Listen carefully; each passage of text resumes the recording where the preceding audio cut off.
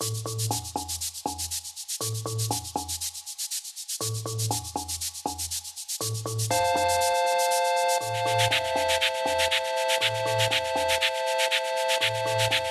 sehen natürlich eine Schumacher-Kollektion voller Weiblichkeit, aber halt eben auch eine, eine, eine starke, ja, ein starkes Selbstbewusstsein.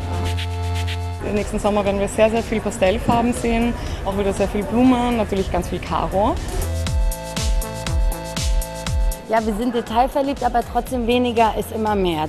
Im Styling waren wir schon reduziert, weil ich finde immer zu viel macht irgendwie den Rest kaputt. Ja, ich freue mich vor allem, dass äh, Franzi da ist und dass sie äh, unsere Show eröffnet. Ja, ich freue mich vor allem, die ähm, Kollektion endlich mal laufen zu sehen.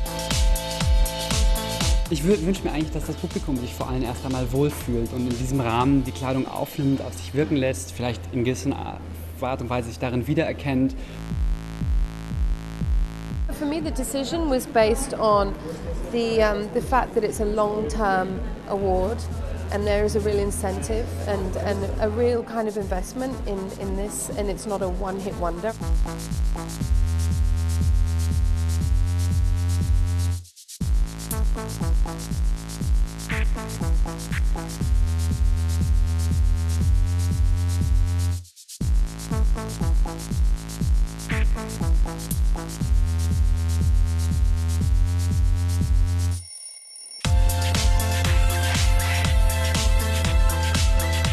Wir haben ursprünglich ja gar nicht in Deutschland gezeigt, sondern nur in London und auch nur in Paris verkauft und sind dann durch die Berlin Fashion Week überhaupt nach Deutschland gekommen.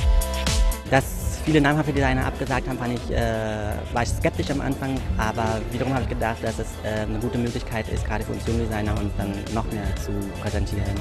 Ich denke, das, wovon ich immer gesprochen habe, dass Designer Zeit brauchen, die Bühne brauchen, um sich zu entwickeln, das sehen wir jetzt ganz langsam. Dass, ähm, dass Labels, die Jungdesigner waren, zu etablierteren Labels werden, ähm, was ich ganz toll finde.